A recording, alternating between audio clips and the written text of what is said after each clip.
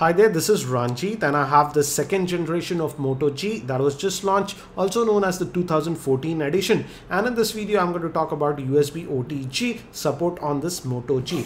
And just yesterday, if you have watched, I made a video in which I said that uh, the USB OTG was working on this Moto G, but you had to use a third-party app. Uh, the issue was that with my USB cable, I and I uninstalled that third-party app that is called Nexus Media Manager.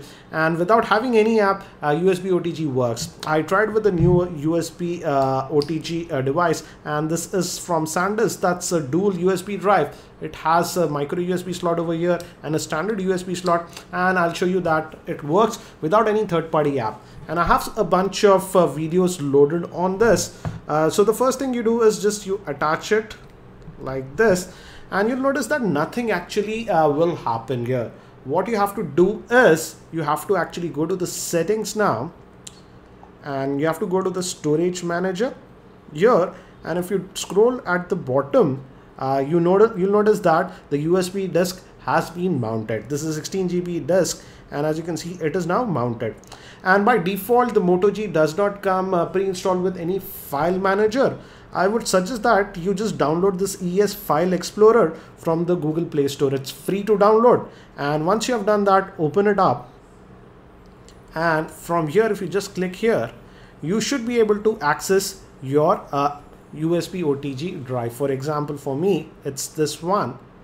And we just selected it and now we can access all the files on this. And we have a bunch of uh, video files so we will use that. And uh, for example I just click this. And from here you can select uh, the player from which you want to play it. For example let's play it on the default video player and as you can see it is now playing perfectly directly from this uh, USB drive.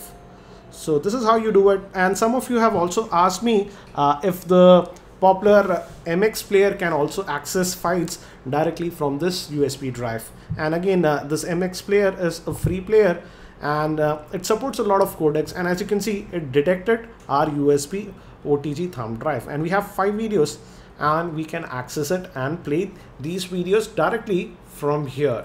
For example let me just play this. And this is a 1080p video. That's a full HD video. And as you can see it is playing it without any issues.